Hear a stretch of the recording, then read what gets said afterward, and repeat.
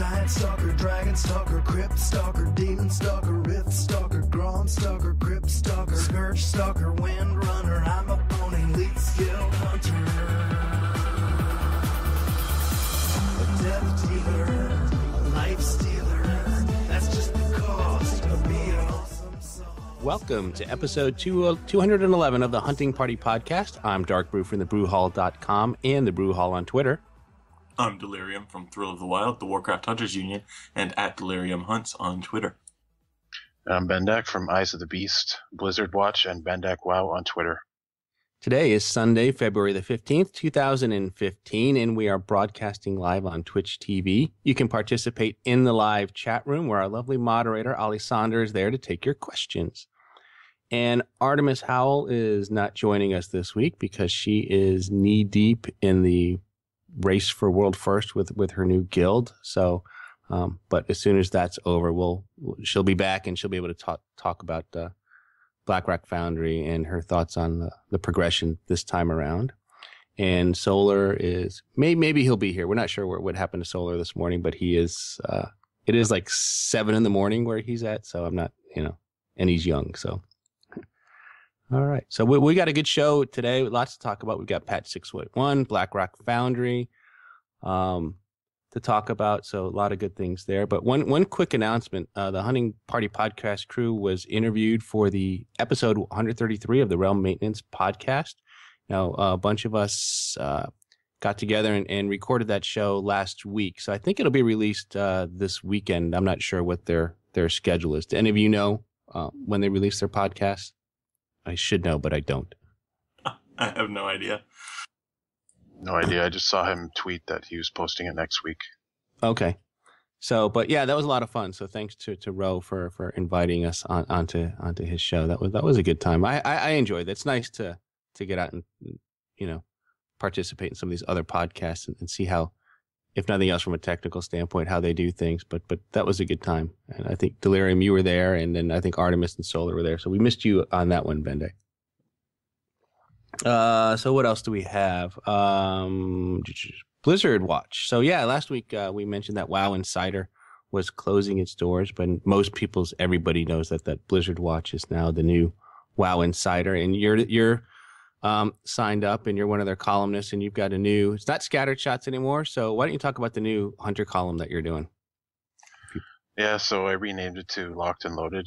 Just I don't know. I just felt like you know giving it a new name, and I also did like a a straw poll on Twitter, and like Locked Locked and Loaded won by like I don't know by like two thirds or something like that. So I thought, oh, what the hell? I'll just go with my gut and rename it. Seems like not many people are like, oh no, it's not scattered shots anymore. So Yeah, and we had a sort of an, a little bit of an internal discussion too, because as everyone knows, you know, scattered shot is no longer part of the the hunter toolkit. So it just, I don't say it seemed inappropriate, but it would just seemed weird having a column named after uh, an ability that hunters no longer have. Certainly. yeah, of course, there's also my site, which is named after a ability that we no longer have. True, true. Th- that one's a little different though, because Eyes of the Beast is just one of those. It's there's something nostalgic about that. You know, that was actually a. Yeah. It wasn't like a big damage ability. That was just a cool thing that they that we had um, that everybody misses. That we'll probably never ever see again, which is unfortunate. Because I, I know they said that they've had that they would have to recode it, and I guess I don't know why they wouldn't.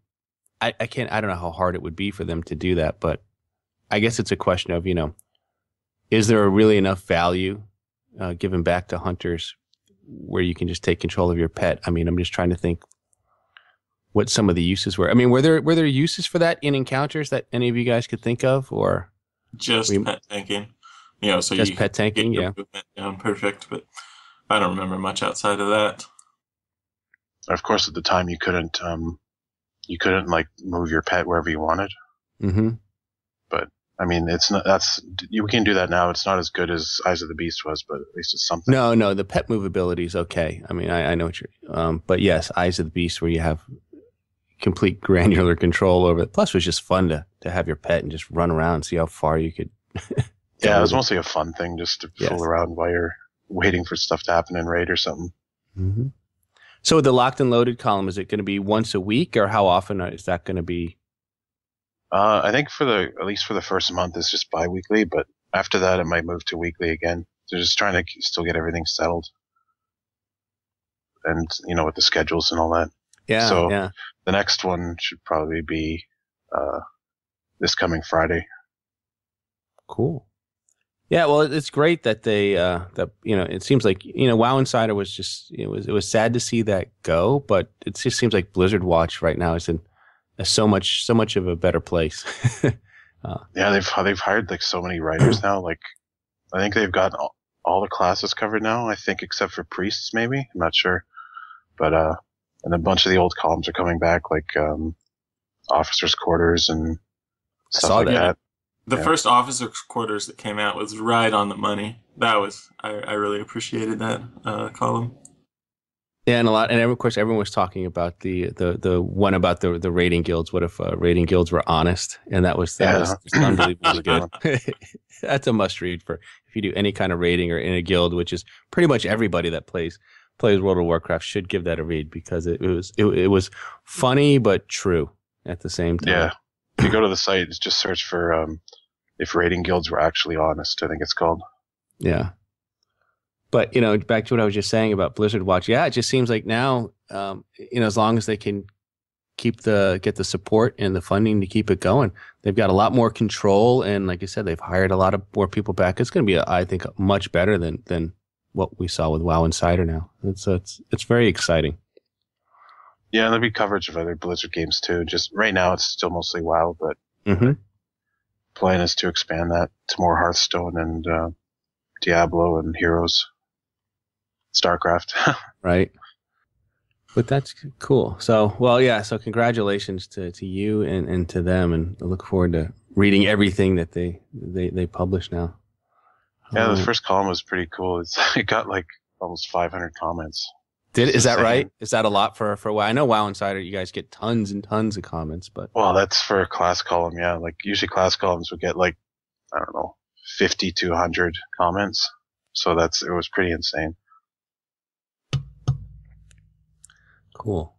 Let's see what else happened. BlackRock Foundry. We can talk about that a little bit. I was I was hoping to have Solar around or Artemis to talk more in, in depth about their their experience. But Mythic obviously opened uh, this past weekend, February 10th. So the race for world first is is going on. Uh, So, are, what's the the progress now? I think last night there were several guilds that were eight of ten was the best that we were seeing.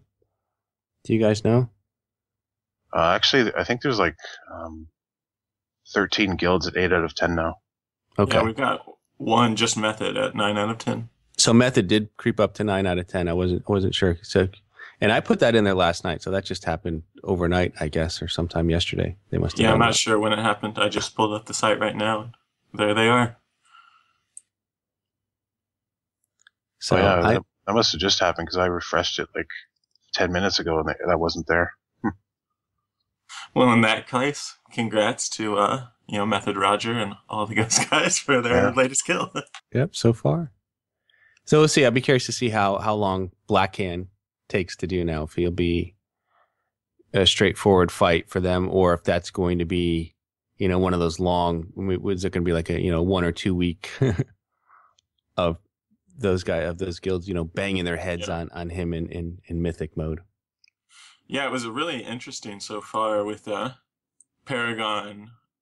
It looks like they did a lot of heroic farming before going into Mythics. And for a while there, they just shot ahead. You know, they were clearing so much faster than anybody else did. But it looks like once they got to the later bosses, everybody kind of hit a wall at the same time. So we had everybody at 7 of 10 for quite a while, then about a day of everybody at 8 of 10. I wonder why they did the. I wonder if they did the heroic farming just to get used to the encounters. I mean, the gear in there, I think, is only six eighty, right, compared to the mythic Highmaul, which I thought was six eighty five. I thought the mythic Highmaul. Yeah, that's that's correct. I think the getting people trinkets, they're you know the best trinket they can. Right, okay, yeah, tr- tier, those tier trinkets in the tier in the tier gear. I keep forgetting about that. That's right. So that that would make sense. So you do the trinkets tier gear, and you get a, a some Look the- comfort yeah, comfortability. You know, you get a little bit of more. Get used to those encounters. Uh, even though the mechanics are will be different in Mythic, at least you get used to the environment, how much space you have to work with, and those kinds of things. So yeah, not not a bad idea at all. Yeah, it's been a good fight. A lot, you know, a lot more interesting, I think, than that first half tier was with Highmaul. And I've been having fun uh, keeping WoW Progress open on my computer all day. So. Now, I'm I, none of us are doing any kind of mythic raiding, but I mean, have you guys rated uh, much in Blackrock Foundry? Uh, so the new guild I joined, we've just focused on normal. Took a stab at heroic last week, but we decided we would maybe try and clear normal first, and then get people to some of those tier bonuses, and then then plow through heroic. But I like it. I think it's a good raid so far. I like what I've seen uh, so far. Yeah, Yeah, I've I've been just having done- fun. Go ahead. Go, I just, I, s- I've had fun. Uh, we've cleared through, I don't know how much of heroic. It's been going a good bit slower than we had anticipated, but uh, I run into a couple of roadblocks. Uh, I think there are a lot of fights here that are a lot less based on, you know, how much DPS can you pump out really quick, and a lot more based on, you know, everybody staying alive and actually doing the mechanics which is probably a good thing in general, especially for hunters, as we thrive under those situations, but also kind of forcing everyone to play the game and not just tunnel. So it's, it's I'm enjoying most of the encounters so far that we've seen, and uh, yeah, it's some of them are a little silly, some of them are more uh, intense. So it's been a good time. Yeah, I've, I've enjoyed them too. I've only done normals as well, but um, I think they're pretty nice. Did did any of you guys suffer from that? There's all these people talking about having motion sickness on Hans and Franz. You guys seen any of that? No, No. we killed Hans and Franz last night, and it was, uh, yeah, it was it was just uh, getting out of plates. I didn't notice if there was any motion sickness. Honestly, like I said, I haven't done them on heroic. We just did them on normal, but no, um, no issues whatsoever. In fact, it's it's a very easy fight on normal. I find our Right. we that was you know we ha- very rarely do we go in there and have a uh, one shot one shot where the first look uh, of a boss we go and kill it. And, and Hans and Franz was that one for us on, normal. so, um, but I never had any issues with motion sickness. I don't know if it's because you know, I had to do those conveyor belts on, Siege Master and Siege of Orgrimmar, but um, no, I mean that, that was just a fun fight. I, I really really enjoyed that fight more more than I thought I would. Yeah, I ended up we uh, I was there for two pulls at Hans and Franz, and uh, the first time we wiped, I uh, I managed to not get hit by anything. I was doing great, having a good time. I'd never you know really seen it before, but I uh, I decided to you know go in and really try my best. And the second time, I don't know if it was RNG or what, but the time that we killed it, I got hit by at least I don't know five thousand plates dropping on my head. I have no idea how they kept me alive, but it was a good time regardless. Yeah, and someone in the Sir, Sir Jarek in the chat room is saying the plates won't hit you if you move slightly left or right. So I don't know if there's if you can stand and there's there's, there's a little bit of spacing in the, between belts, and I don't know if that really can protect you or not. Um, Yeah, and I, you have to be actually on a different belt to not get hit by the plate. It Right. overlaps the area where you don't move. But yeah, it is only just, you know, you move a foot over and you're fine. And I haven't had to try it yet, but I, I don't know if deterrence will protect you from a blow or not either. Yeah, I never cast it soon enough once I realized I wasn't going to make it out of the area. Yeah. And you definitely can't stand like in that little space between them either. You just No. get hit by both of them. yeah, it was a little rougher night than usual last night with the um, consumption rate for me, I guess. Oh, it might have made right. some extra problems on that fight. But yeah, that's definitely that. I like that fight. That's definitely uh, a fun fight. Uh, audio, you know, from the bosses is fun too. Although I'm- I'm too busy focusing on plates and dodging things to, to pay attention to what they're saying. But it's it's fun. Oh yeah, I'll have to do it with the volume turned up next Mm-hmm. week. And then there's Beast Lord, which I like just because he's a hunter. I like Yeah, him he too. was I was thinking the same thing, and it's like, oh, I wish I could tame some of these pets. And uh, that's a crazy fight. There's a lot going on there with the the spears and the pets. Lots of AOE. Um, oh yeah, it's like paradise for Barrage. yeah. Lots of room to cheese.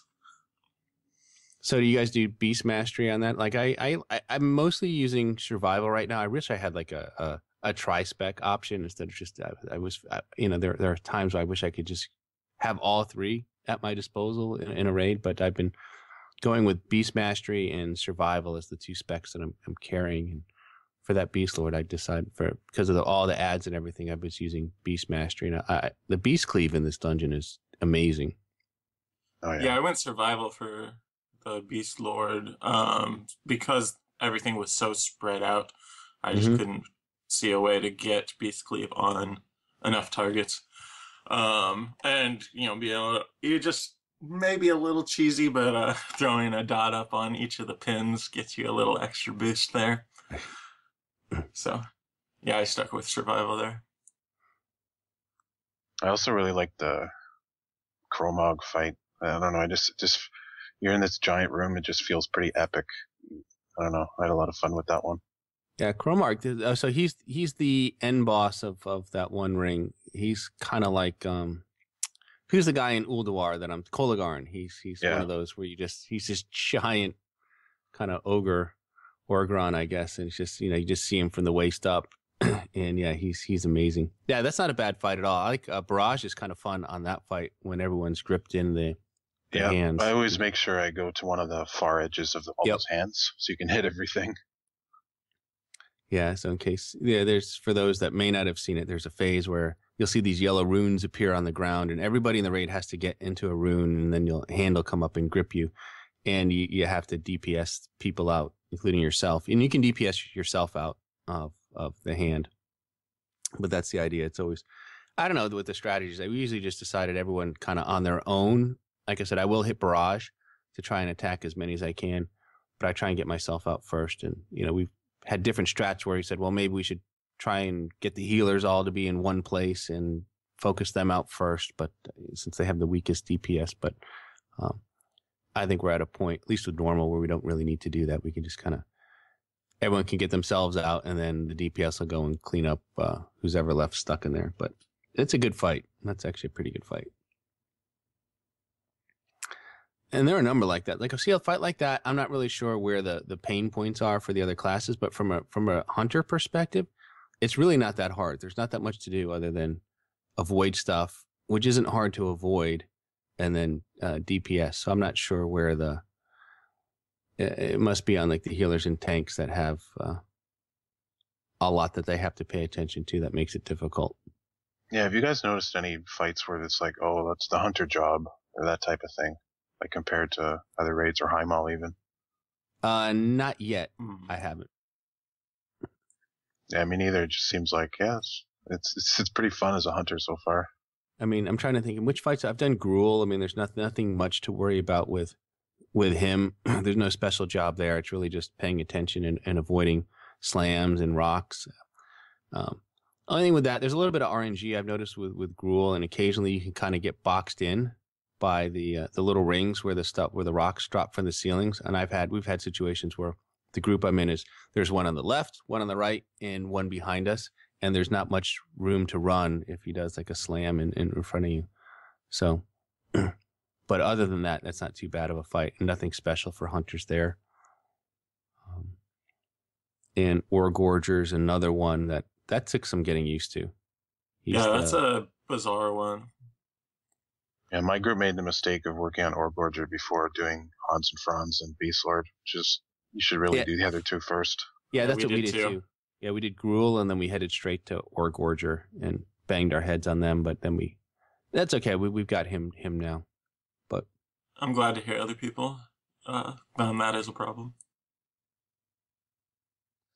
But yeah, I mean, again, the, the first phases are easy, right? When you, we, we just kind of stay stacked up and then move right when he's about to drop that stuff on the ground. It, and it's, it, it's all about the maze phase, is, as I call it, really, and just trying to keep your camera zoomed out long enough so you can see him and kind of figure out which direction he's going to roll around in, and so you can avoid that. But uh, deterrence is fine. You know, you can use deterrent. Deterrence will get you out of a out of some jams on that fight. I've noticed. In fact, you can almost use it to your advantage to just, you know, not have to think too much and just know that, all right, here he's about to run me over and hit deterrence and you'll be okay. And then um, I'm trying to think what else. We talked about Beast Lord. I've done him. Uh, the the train operator. That's a fun fight too. Operator Thorgar Thogar. but again, nothing special for hunters. Just lots of ads, lots of AOE's, and lots of paying attention to which doors the trains are going to come come running through at any moment. What do you guys think about that fight? Yeah, I haven't gotten to him yet. So I mean, either. sounds fun. I haven't done them yet. So the way it works is, you know, there's the one boss, and you're on this set of train tracks, and there's four tracks, and every so often, and I think there's probably even a pattern to it, but usually you'll get two trains coming out of the the different doors. So you might get doors one and four. There'll be a train, so you got to move to the tracks where there isn't a train coming, and some of the trains will stop, and then they'll dump off a bunch of ads, and you got to take down the ads, and then there'll be uh, there's a train that drops off a a gunner, so a guy that sits in the cannon. So obviously that's in terms of jobs, that's obviously a job for for all range DPS, not just hunters, but we can certainly take out those those gunners pretty pretty easily. And then at one point, you'll get trains coming out of doors two and three, which are the two middle tracks, and we you split your raid up into two groups because both those trains will drop off ads, and then each group will handle their ads, and then it's a lot of back and forth. So, you know, if you can have someone that can call out which door the trains are coming and tell you where to move, that helps. But uh, you're you're better off just paying it. The boss mods are pretty good about telling you, uh, all right, train coming on door one, train on track track one, track two. So, but it's it's a busy fight, a lot of AOE. I use Beast Mastery, and the Beast Cleave damage on that one is is is fun. That's pretty a lot of lot of lot of good good numbers coming out of that with with with Beast Cleave. So, yeah, it's a fun fight. It takes a little getting used to, but I, I like that one a lot. But at least for me, I think other than that, I don't know that we've gotten too much further at this point. What about Blast Furnace? Did you do that? I have not tried him yet. I think they may have done him on Thursday, but I wasn't available last week, so I have not seen uh, Blast Furnace. Have you tried that one yet? Uh, no, but it looks like another Beast Cleave Yeah. fight. But I think it's a Which which one was Blast Furnace? It's um, it's just like a bunch of ads, and you release like this fire elemental at the end for phase three. Oh yeah, I must not have done it yet. You have to drop sound the fun. bombs to destroy the furnace or whatever. Yeah, he's the boss that's kind of at the bottom of one of the, the, the areas. You can you can see him as you're running around from one area to the next. It's, it's- it's like a big furnace. Yeah, other than the ridiculously long runbacks, I have kind of enjoyed the layout of Blackrock. Or just, you know, getting to see things from overhead and Mhm. picture of where you're going. But I, I, you know, like I said, I think it's a very well designed raid. The and I think it's designed to be progressive within the raid, such that the end bosses of each wing are going to be a little bit harder than the than the bosses that precede it. And so the idea is you might go around and you can kind of pick and choose where you want to go, which is always nice. But I think there's uh, you might be better off taking some of the I'll call them like the the under bosses, if you will, you know, rather than just clearing out an entire wing, at least until you get some things on farm. But you might be better off just hitting the the, the, the lower bosses and then working on some of the the end bosses. And, yeah, I just know, want, I just, I just want a trinket so bad. Like I've tried so many times to get the butcher one, and now I'm trying for the Kromog one. It's just like, oh, I cannot catch a break with my trinket. Oh, so you so you don't even have so you haven't even gotten the one off the trinket or off the butcher yet. You don't have the hero, the scales. No, I mean, and I've, I've, I've never seen it drop, and I've used like 14 or 15 bonus rolls, I think. So yeah, yeah, that is some bad luck. and you you can even get that from your uh, Highmaul mission too. I mean, and I'm trying to rub it in, but I mean, I got one from a from a Highmaul mission that I had. I know you D- told me you I had to disenchanted it. DE. I was so pissed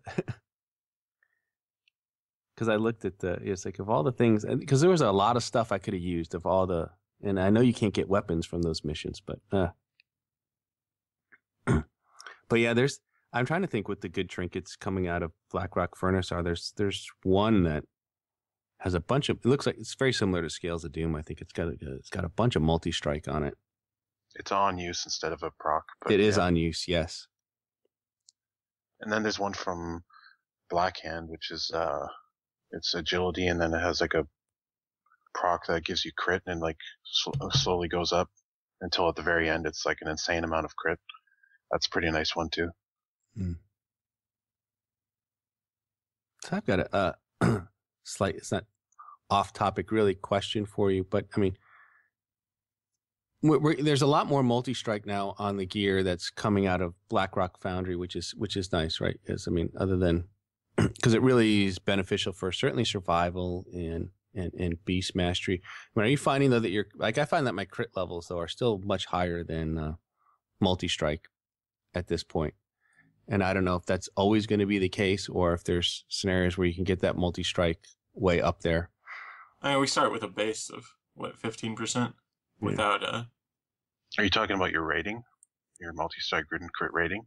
Yeah, I mean, in terms of getting the stat higher than the other, and the reason I'm sort of asking is I realize this. I usually eat the the feast that you get out of the uh, the barn. You know, that everyone puts down those those feasts. uh, yeah.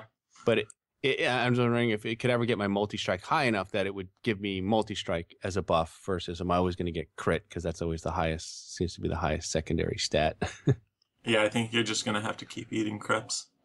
yeah, so that's Those what I'm I've, I've been starting to bring some of the the calamari crepes food just because it gives a hundred multi strike. Yeah. I've got the recipe. Yeah, but you can also just take off your certain pieces of gear until your multi-strike is higher.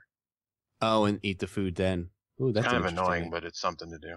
I never thought Huh. about that. That's a great tip. So if you learn nothing else from this show, this that that right there, I think makes this show.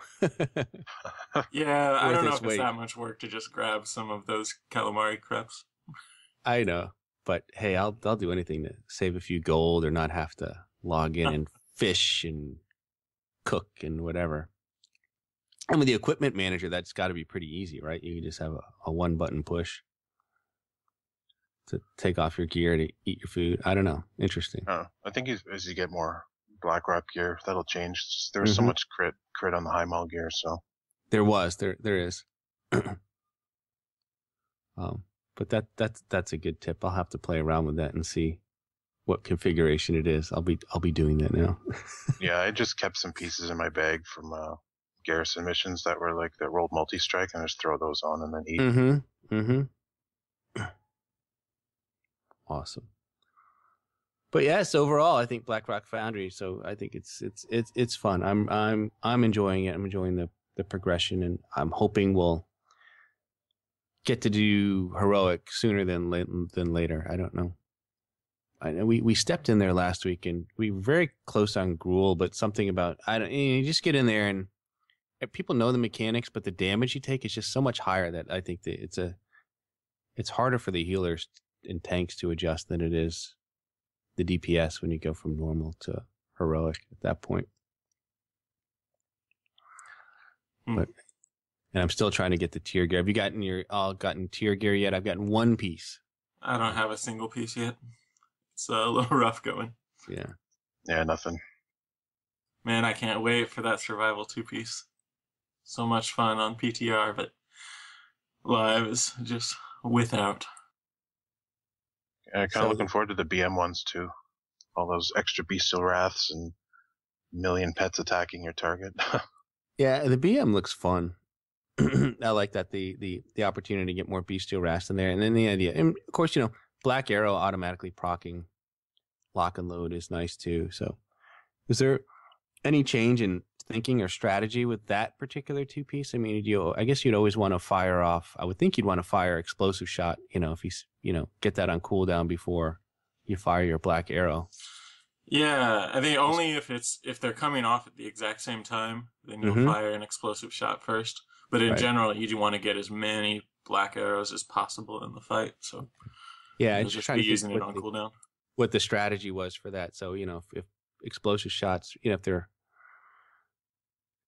because on the one hand, I mean, you know, if you fire explosive shot, it's it's on cooldown, and you know you're gonna get to fire it right again with Black Arrow. But I just wasn't wasn't sure, you know, if it was worth delaying Black Arrow for that situation. And you're saying probably not. Yeah, I Makes mean, I think if it's if you got one, you know, if it's one GCD, maybe two GCDs, you're not going to hurt yourself much. Mhm. But once you go more than that, you're not really gaining much. Fair enough. But you had mentioned 6.1. Why don't we top down and, and talk about that? Because uh, there was a new build this week. It was marked as release ready. I don't know that they'll do it this Tuesday, though. Do you think they'll release it this Tuesday or you think they'll wait another week? I sure hope they wait. I think they're going to wait because a lot of these buffs that they uh, recently announced, which we'll get to, um, I don't think they're even in that build yet. Oh, they're not. Okay, I just assumed that they were. I know they, Uh. they they were they were mentioned in the patch notes, but um, be sh- and I figured with the release build that they would have put them in there, but maybe maybe they've got a little another minor patch to do. But yeah, I think releasing it Tuesday would just be a little bit um, too soon for that. Plus, it's it would be smack dab in the middle, maybe now towards the end of the race for World First, and I, I think it could. I don't know if Blizzard really cares how much they care about that, but I know that's something the players pay attention to, and that could you know you don't want to. And granted, the changes affect everybody. It doesn't you know favor necessarily one guild over the other, but it would be nice to not. The way those guys min max, who knows? With certain buffs, they might want to change up their composition Yeah. slightly to account for those types of changes. So it would make sense that they would might want to wait, give the give those guilds another week, another chance at uh, killing Blackhand before uh, before they released patch six point one. Mhm. But as as we did say, there were some some some buffs that came in, uh, they were giving for hunters. So um, I don't know, Bendak, you want to talk about some of those? The Beast Mastery one. Sure. So uh, these are in addition to the talent buffs, which we talked about last time. So uh, improved focus fire, which is a BM perk. Um, and now when you um, use it, it gives you 8% attack power per frenzy stack. So if you can use it at five stacks, you get 40% attack power boost, which is right now is 25%. So it's pretty significant. And when Oh my goodness, forty percent I know. Attack power is insane. That's a And when- crazy buff, I know, and when Warlords launched, it was only 10%. right? yeah. That's right. They bumped it up to 25%. Now, Yeah. now we're up to 40. That's that's awesome. That's really nice. it's it's a significant buff. Like um, Simulation Craft just put out a new build, and I just ran it quickly this morning just to see. And in my personal gear, that buff alone was 2k DPS for BM.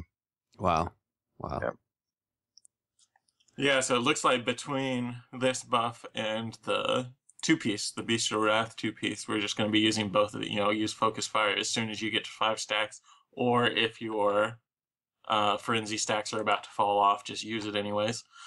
And uh, we'll be using Bestial Wrath as soon as possible, also. Yes. Yeah. And it's It's going to be Buff Keldul. And, City all the time. yeah, Keldul's pointing out in, the- in the chat room, it said it's more RNG pain for the BM Frenzy. It's like, yeah. Yeah, I think steady focus is now a must for uh, for BM. It's just getting For- those for- frenzy stacks faster is going to be crucial. Yeah. For AoE, I'd say it's a must. For single target, I, I think it's a toss up between that and Dire Beast.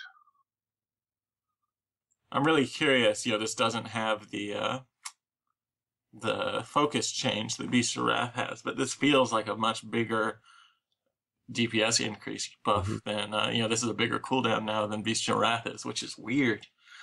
But I, I'm not going to complain. It's nice. All that attack power. yeah. And then we had some changes from Marksman as well, which, you know, people were kind of upset. eh, Well, not upset, but they were, it was, it was sad, right? I mean, Warlord released, it was the, the, the, the, the go-to spec, and then it kind of fell into becoming sort of that redheaded stepchild mode again. And, but now it's, it's getting some more buffs. Um, why don't you talk about that a little bit, Delirium? All right, so we start with a nerf actually to careful aim is now increasing the critical strike chance of steady shot, focusing shot, and aim shot by 50%, which it was 60% uh, for most of Warlords. And of course, before that was 80% when it was only the uh, first 20% of the fights. Um, and Chimera shot to kind of make up for it is being increased by 30.4%, which uh, I don't actually remember. I don't have my spreadsheet in front of me, but I think that puts us up to about 605 or 610 percent weapon damage. I don't know if either of you have looked at that, um, but it's it's Chimera shot is huge, especially uh, when you get two of them on that cleave fight. And last sniper training is now 25% more effective. So I believe that puts our base at 5%. And then we get, uh, Uh, I can't even do the math in my head, so I won't pretend to, but we, you know, 25% more per stat that you get. Yeah. So, so what does that really mean? How do, I wonder what that translates to for the sniper training when they say it's 25% more effective. Because sniper training doesn't just increase, you know, damage. It also increases the range. I mean, are we going to, so is that going to boost the range at, at which you can stand and fire as well, I guess? Yeah, it As you- should. It should. And the and the crit damage will also go up there, so it just makes it a little bit more important to keep sniper training up all the time. But it still isn't going to be a huge buff for any you know at any point. It's good, but not you know ridiculously amazing or anything. And you know it's not like Beast Mastery's sixteen percent base or eighteen percent base now or anything like that. And I think that that Chimera shot is uh mostly what's pulling marksman up so much.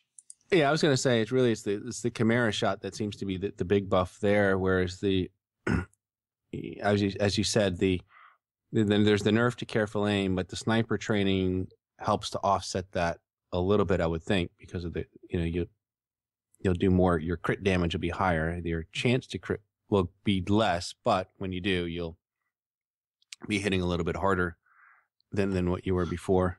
Yeah, so I think most MM hunters who've stuck with um, marksman even after the nerfs back in 6.0.2 or whenever that was, Right. uh, most of them have been using a 43% kind of crit soft cap, um, and now that'll be raised up to 53%. So you know your your crit is a little bit more valuable on your gear, um, that's not much in return for having less crit overall in the fight. So uh, it'll be. We'll see how it works out, I guess. Yeah. Well, Bendak, you mentioned that there was another new version of SimCraft, which I guess had this this information taken into account. And you were you were running some sims. You said you you did not only did you do it just for your own personal gear, but you took a look at the the BIS, which nobody has, but everybody wants to wants to know about. And and what did you what did you get from that for just from the the preliminary sims that you did? Uh, I think you found that everything was getting very very close now. Yeah, so I only spent like it was literally like 15 minutes before the show, but uh, I just took like the their default mythic profiles and used those for all the specs. And uh, so for I ran those for marksmanship. Marksmanship was actually the high. This is patchwork fights, and Mhm. uh, marksmanship was um, the highest at 45,900, and then survival was 45,800. Beast Mastery was 45,300. So they're all basically within five or 600 DPS of each other, which has Yeah, I never been that close. 0.2% DPS, if that's Yeah. the only difference, I'm okay with that. You know, that's, Yeah. that's as balanced as we're ever going to see. I mean, I know in the past, a lot of uh, we we've talked about it here that you know five percent variation is probably, you know, in the acceptable range. I mean, this is Yeah. this is this is pretty much a dead heat. I mean, that's just a standstill fight. Of course, we know by some of the fights we just talked about, there's very few just pure standstill fights. There's a lot of movement going on, a lot of fights with ads in, in, in Blackrock Foundry. So I don't know if it changes much, does it, in terms of what you might want to do? I don't think it does Yeah. either. It's just it's just more of a like you you feel less bad about maybe playing the less optimal spec. You know, like it's they're so close now, except for marksmanship AOE. Like outside of that, just That's what know, I'm thinking play too. Whatever. It is. It really is just play whatever, and you know, for the ones where you're going to have good single target opportunities, um, you know, if you're if you like marksmanship, then yeah, you you you- just might as well go take marksmanship, and then whatever spec you prefer for your AOE. I, I do think it's silly on the heavy AOE fights though to, to, to play marksmanship when you can just do so much better with, with beast mastery and, and survival in those situations. I mean, you know, I think that's it. Those are, those are times where you actually will notice a decrease in your damage. I think. Yeah, I'm not sure why they insist on keeping marksmanship AOE that low. It's just, it's okay for a spec to like have a strength in one area, like Mhm. maybe higher single target, but and weaker multi target. But it's like we're talking like a lot. Like we're talking like 50% less multi target damage in some cases. It's just like the fact that you have to wait for like seven or eight targets to even use your multi shot. I don't know. I think something's wrong there. I think it should be like if you got three or four targets, you should probably have incentive to use your multi shot. I would think. I, I agree. I mean, there's no reason that um, marksmanship just needs to be single target only, and that it has to have weak weak AOE. I mean, because they've made enough changes this time around that the play style of all three is different enough. At least it seems different enough to me. I mean, with Beast Mastery, the focus now is really on the, the pet and the pet damage and, and buffing your pet. Um, you know, survival still has its its procs and its lock and load. It just feels different enough. And and now with marksmanship, where you have, you know, aim shot, um, you know, steady shot. There's a lot more casted abilities. I mean, you know, focusing shot is is is, is still even an option.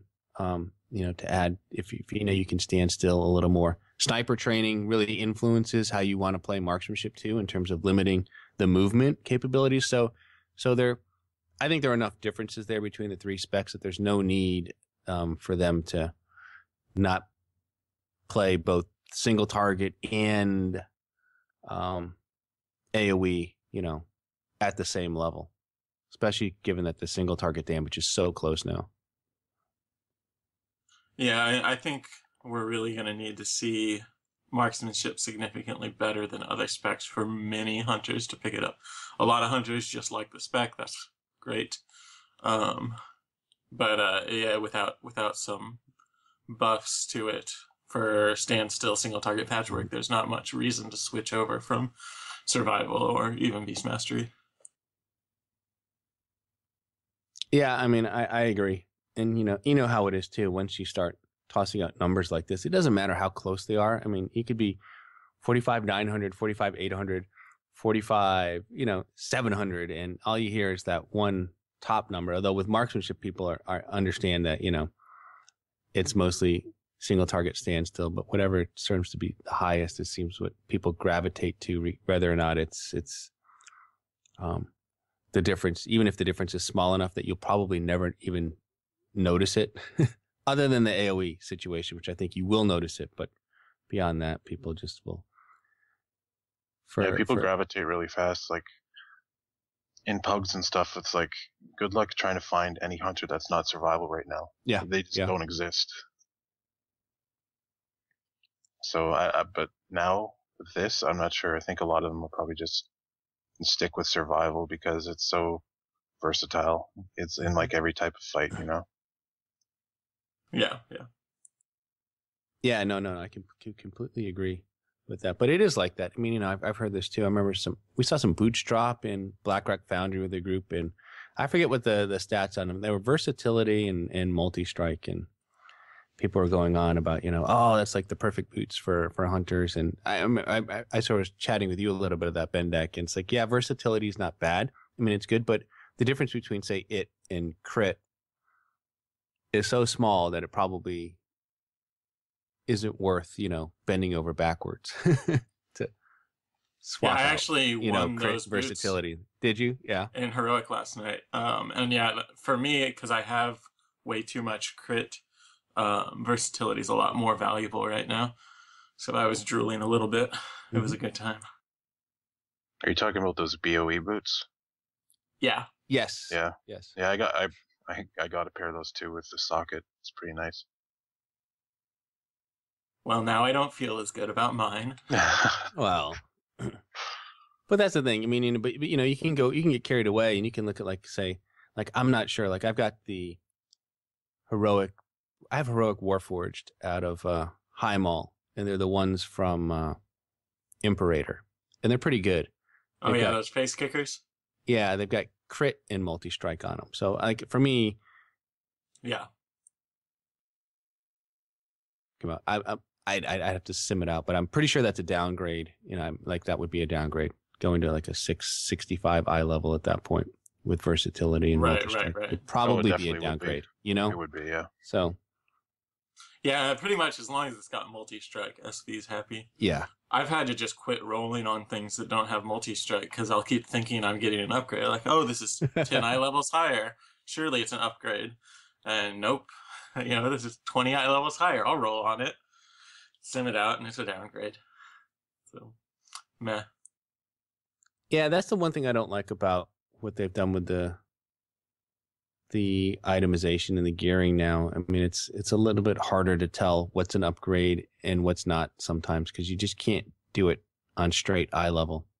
That's not a good. Uh, Well, I'd say in a lot of cases, a lot of cases for BM, eye level is the deciding factor mhm. because their stats are so close. So it's nice that you can move over from from survival and like this, like BM just likes all the stats anyway.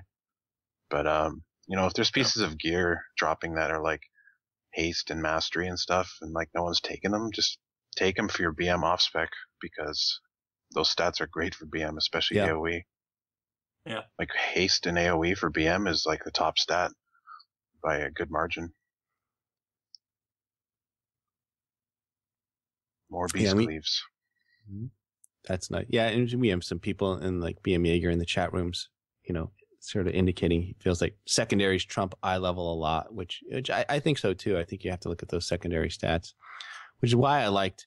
I know Blizzard hated reforging, and I know it wasn't Yeah. interesting, but it was it was straightforward and easy to understand, and you could use add-ons that tell you what what to do. But I guess probably another thing they didn't like, but it just made itemization a lot more straightforward.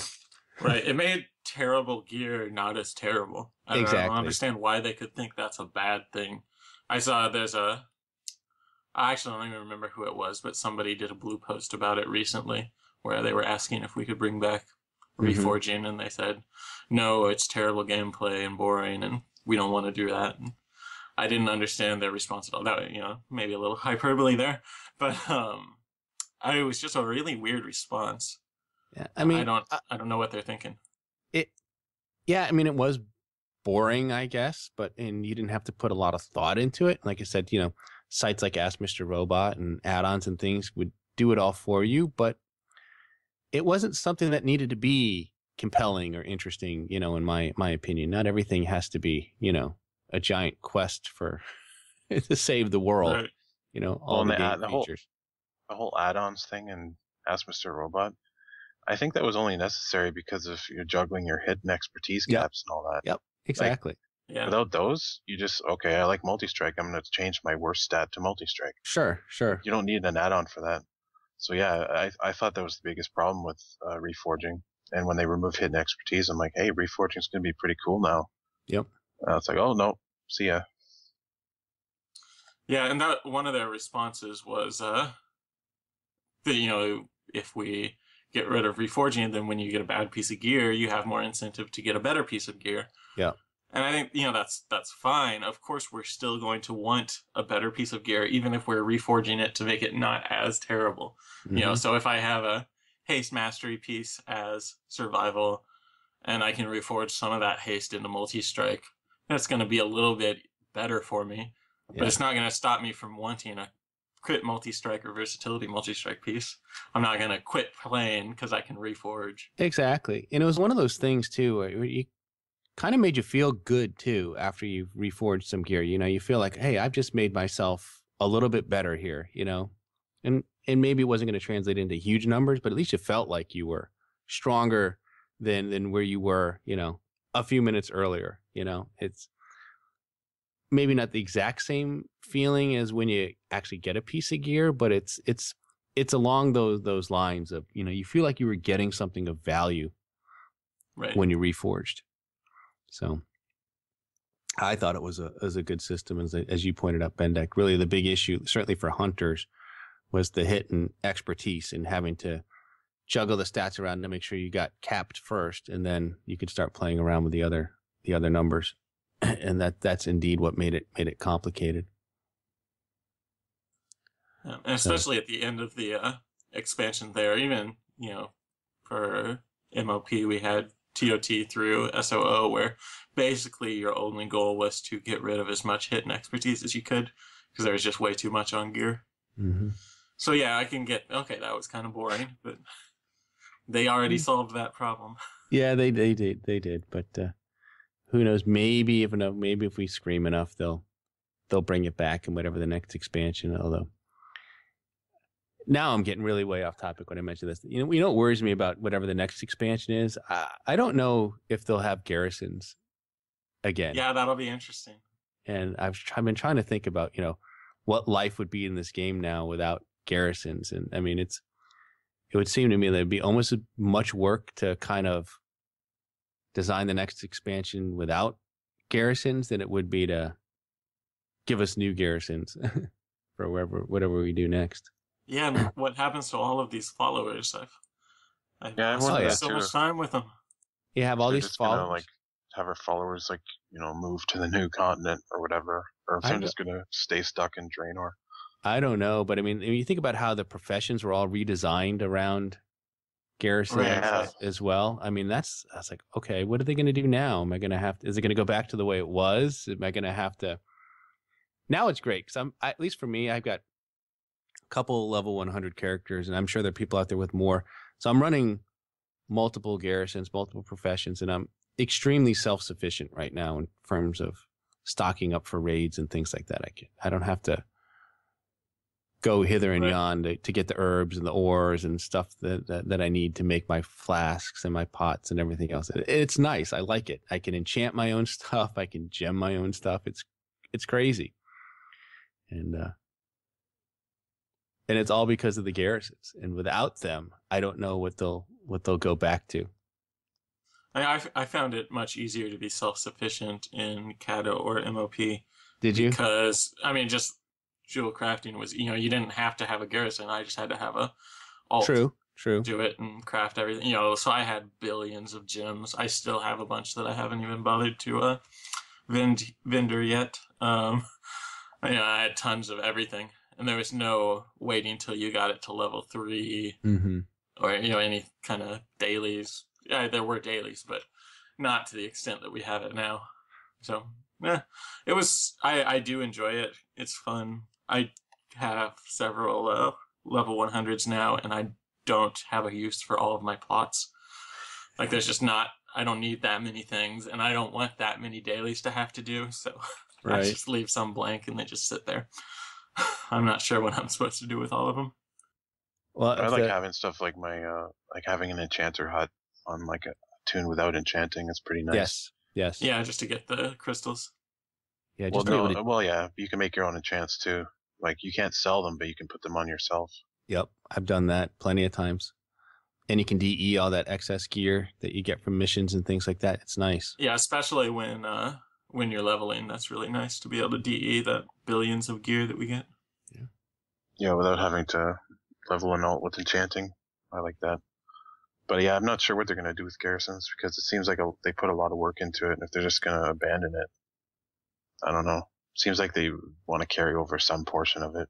I hope they do because it's like I said, they've really integrated it with this expansion in, into the game, and I've I've gotten very used to it and, and enjoyed it quite a bit. And I think it would be hard going back to a world without garrisons unless they came up with something that achieved, uh, you know, similar purpose, similar function. But hmm, that's a ways off.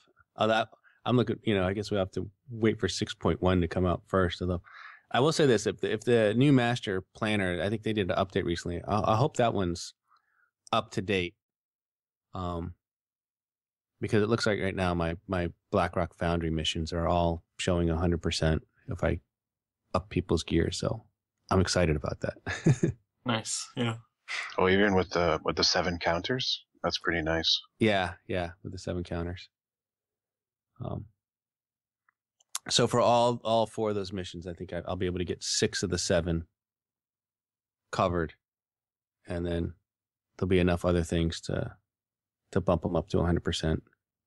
At least that's what the add-on is telling me. So we'll we'll we'll we'll we'll, see. We might have to do another character copy over to six one. Well, but, but then I'd have to wait and see if uh, those missions come up. So I'll wait until six one comes out and see if it, see how good that add-on is. um, well, why don't we do this? Uh, why don't we move on? We did get uh, one listener email this week, so um, let's let's get to that and then uh, call it a day here. Uh, this was from Morgatho, and he had a question about Gara, the spirit beast. And he said, So, one of the first things I did when hitting 100 was to go over to the Shadowmoon and do the taming quest for Gara. I used him or her for a few heroics, but I ended up going back to using the spirit beast I have been using since I got him in Wrath, and that was Loque'nahak. And he said he named him after Big Red Kitty after he retired. It was the first pet I ever spent time camping and have been BM ever since. My question is, should I feel guilt over keeping Gara in the stables after the epic quest to get him slash her, or is it time to let BRK take some time off? And that was from Morgatho, Morgatho on the Laughing Skull. I like the fact that we just got a pet question in here. yeah, I I feel like you Loke is so cool. I have no problem with you using him. Even what what are we three expansions later now? He's uh, still a really great pet no qualms there. Yeah, I don't think anyone Yeah. should ever feel guilty about playing with with with Loque'nahak. I mean, he's probably you know still one of the most unique looking pets uh, in the game. You know, all these years later. I mean, you know, we're talking seven years now. It was what 2008 is when Wrath of the Lich King came out. So yeah, I mean, oh my know, goodness. I know it's like it's been it's been that long, and it's still one of the most popular pets, and and certainly hard to get pets in the game. So no one should ever feel guilty about uh, having Loque'nahak by your side. As for Gara, I don't know. Yeah, are you guys using Gara much? You BM players? Yeah, I've been using her a fair amount. I mean, I, but I, like, um, like Morgatho, I also tend to go back to my favorite pets. You know, which for me is also Loque'nahak and uh, my oil, oil stained wolf, which I use quite a bit too. Uh-huh. Yeah, that's a cool looking pet. Yeah, I, And I don't. King, I'm, King Krush. Can't forget that. No, I've done a terrible job of just sort of managing my my stable, if you will, this time around. I mean, I bring pets that have abilities to raids that I think I might need, but I kind of wrote about this uh, either last week or the week before. But it, I just felt that pets in general are kind of in a weird place because it's the system is is almost perfect. Um, but I feel like it, something is a little bit off, and I I think part of the problem is pets can bring everything. They have all this utility now. They can bring all the buffs, debuffs, and and you know things like battle reses and and so forth. But with the raid groups being as big as they can be sometimes, I don't feel like I need to bring any of these guys. So it feels kind of wasted that um you know I don't feel like my pets are bringing anything useless useful. And the benefit to that should be would be well now I can bring whatever companion that I want to bring, right? It should be any pet in the stable I want to bring to a raid, I should be able to bring, which is kind of a cool thing. But then a lot of times I'm taking lone wolf, so I don't even have a pet. So I, I don't know. I think I think lone wolf is really the big culprit in this more so than the the redundancy and buffs, debuffs, and, and utility. But I think lone wolf is probably the, the big bigger culprit in the angst that I have. Yeah, with 20 to 30 players every night, we don't, uh, I don't even think about what pets I'm bringing. I just keep my, uh, keep myself stocked with the pets I use for arenas and PvP, and then I'll just switch them over to ferocity for, um, for raid night and switch them back to cunning when that's over. So it's, it is kind of disappointing that that's not part of the hunter experience anymore, planning that out. hmm It's a lot easier to get the buffs now. I've even been in five man groups where it's like, oh, the buffs are covered. Yeah. So yeah, I see where you're coming from. It's just, I guess now it's just more of you know an aesthetic choice. and, and honestly, I think that there's nothing wrong with it being an aesthetic choice. I mean, that's that's that's actually pretty cool because for a long time we didn't really have a choice, right? Certainly, I remember. I think back to when you had to bring a wolf for um, in Wrath of the Lich King, you know. So yeah, Right. you, you just pick your favorite wolf skin, I guess. But uh, that, you know, but you were you were locked into that, and you didn't really have have a choice. Um, of course, you there had was fewer that- pets in general, but still. There was that period where there wasn't much uh, spell haste, so hunters only brought spore bats. That's right. You That's couldn't right. really get into a pug without a spore bat. Yep, That's And the a tall strider. Hmm Yeah, you Right, that's right, right. I remember you wrote about the tall strider for one of the scatter shots. It was it was a, Yeah. a pretty pretty pretty terrific pet too. So the fact that we can bring whatever one we choose is yeah, I'm not I'm not really going to complain about that a whole lot. That's actually that's actually good. So uh the last thing I guess maybe it's worth mentioning just to be just sort of a quick shout out and congratulations to Michelle Morrow who she finally got her her herself as a follower for Yeah. her Garrison. Mich- Michelle Morrow's song is a survival hunter follower that you can get. I, I think it's horde only though, correct? Does someone want to? That's my impression, yeah. I believe so. Yeah. I've been searching every week and haven't found her on my Horde Hunter yet, so. Mm-hmm. Now, can you only get her through the inn, or is there is that where you end up getting her from, or? That's where I've been looking, so I hope so. Somebody mm-hmm. correct me in the chat room if I'm wrong. I'm pretty sure it's just just from the inn. Yeah. You just have to Mm. get lucky. Yeah, that's what I'm guessing too. Is that you just have to, um, and you know, and you can't search by class. I think we mentioned that last one of our last shows, talking about followers a bit. You know, you, you can only search for traits Yeah, and and abilities. You can't you can't search for oh I want a hunter or I want a monk or or whatever. So you just have to go look up some ability that a hunter has and maybe find one that only a hunter has if there's I don't know that they're and shoot for that and maybe you'll get lucky. The uh, the slug slinger in chat brings up a good point about um the battle res pets in next Yes. patch. Yes. They have a 40 yard range, which I mean, if you got no buffs to cover, maybe bring one of those. It's always nice to have an extra battle res. Yeah, I have agreed. There have been times where I have been the only uh, battle res person in, in the raid. So yeah, I usually carry a, a crane with me uh, as one of my slots uh, every every every raid, just just in case it's needed. But as you said, that the twenty yard, the way it is now, has been made it difficult to use, and especially if you need to get somebody up right away, it can be it can be a real pain, depending on where where you are and where they died, especially if it's a tank or someone in melee.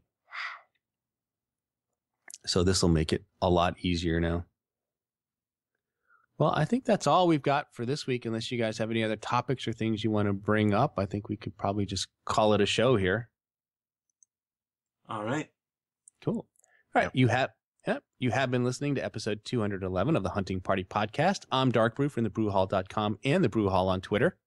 I'm Delirium from thrillofthewild.com and at Delirium Hunts on Twitter. I'm Bendak from Eyes of the Beast, Blizzard Watch, and Bendak Wow on Twitter. Check us out on iTunes, YouTube, Stitcher, or add our RSS feed to your reader. And these links will be available in our show notes.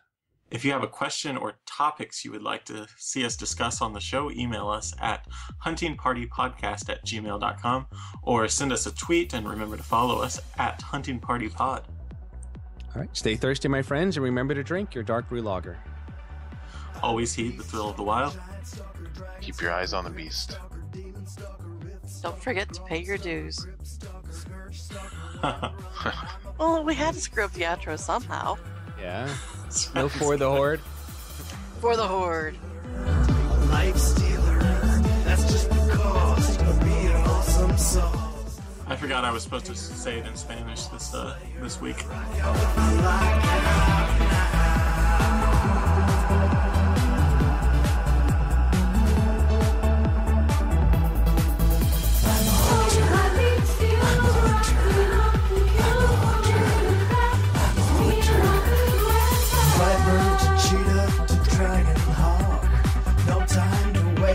I can jump shot. BM, MM, and SV. I can rock out any tree.